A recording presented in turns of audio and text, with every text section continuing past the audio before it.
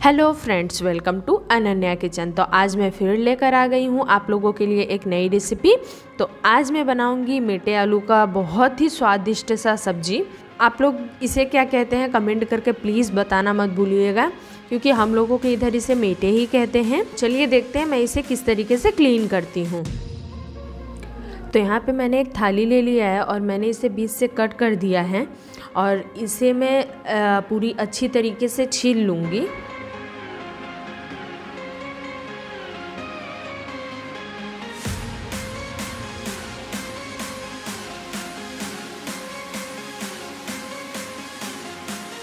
और छील करके इसे एक गमले में पानी ले लिया है और उसमें ऐड करूँगी। अगर आप इसे पानी में नहीं डालते हो, छीलने के बाद वैसे ही रख देते हो तो वो ये लाल हो जाता है।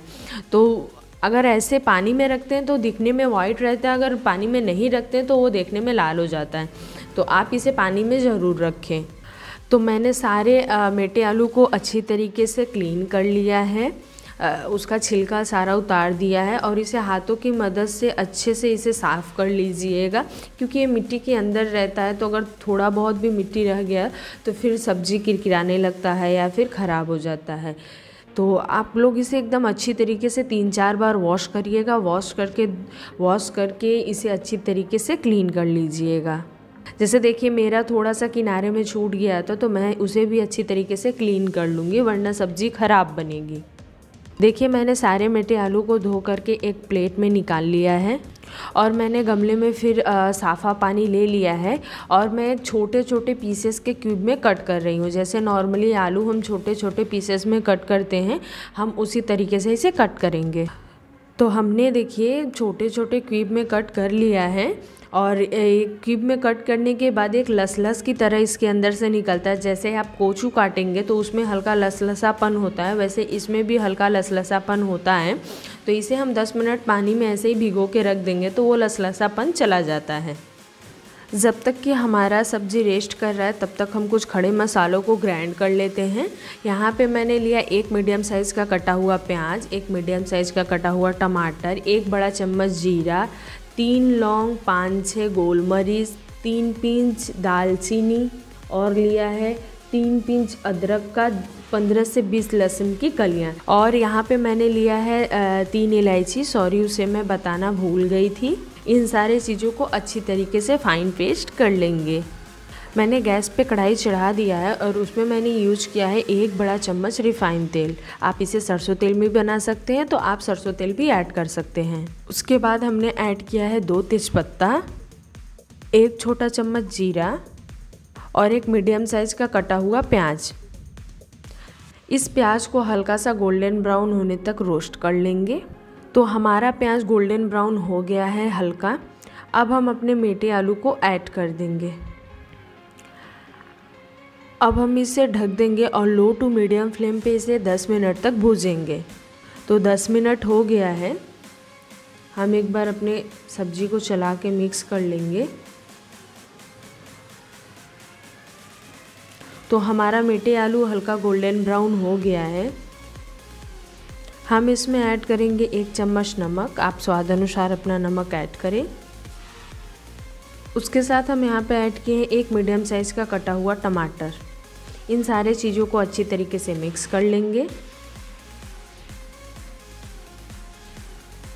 ये देखिए, हमने चेक किया, हमारा हमारा मिट्टे आलू करीब सेवेंटी परसेंट तक कुक हो गया है। तो अब हम इसे ढक देंगे, ढककर लो टू मीडियम फ्लेम पे पाँच मिनट तक कुक करेंगे।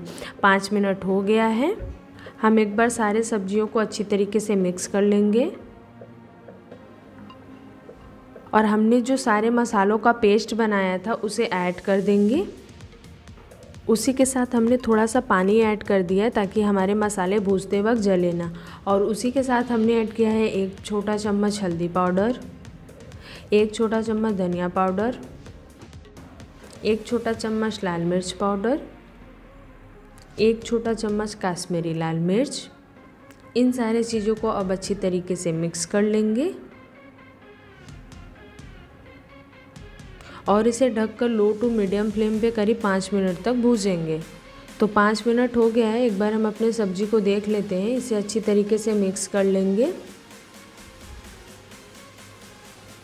तो हमारा मसाला करीब एट्टी परसेंट तक कुक हो गया हमें टेन, ट्वेंटी परसेंट तक और कुक करना है। तो इसे हम ढक के दो मिनट तक और लो टू मीडियम फ्लेम पे कुक करेंगे।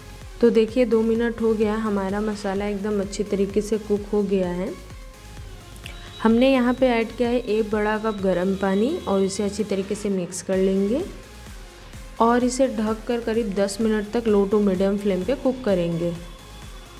तो 10 मिनट हो गया है, हमारे आलू एकदम अच्छी तरीके से कुक हो गए हैं। फिर भी हम इसे ढक के, हमें इतना झोल नहीं चाहिए तो हम इसे ढक के करीब पाँच मिनट तक और कुक करेंगे। तो पाँच मिनट हो गया है, एक बार हम अपने सब्ज़ी को चेक कर लेते हैं। ये देखिए, हमारे सब्ज़ी में एकदम अच्छी तरीके से उबाल आ रहा है। और हम अपना आलू भी चेक कर पा रहे हैं। पूरा अच्छी तरीके से गल गया है, पूरा कुक हो गया है। हम इसे ढक देंगे और इसे सर्व करेंगे। तो ये रहा हमारा मीठे आलू का सब्ज़ी। आप इसे गरम भात या रोटी के साथ खाएँ। ये खाने में बहुत ही ज़्यादा टेस्टी लगता है। तो प्लीज़ कमेंट करके मुझे बताएँ कि हमारी ये रेसिपी कैसी लगी। अगर आपको हमारी ये रेसिपी पसंद आई हो तो प्लीज़ लाइक शेयर सब्सक्राइब करना ना भूलें। Thanks for watching this video bye bye take care मिलते हैं दूसरे वीडियो में.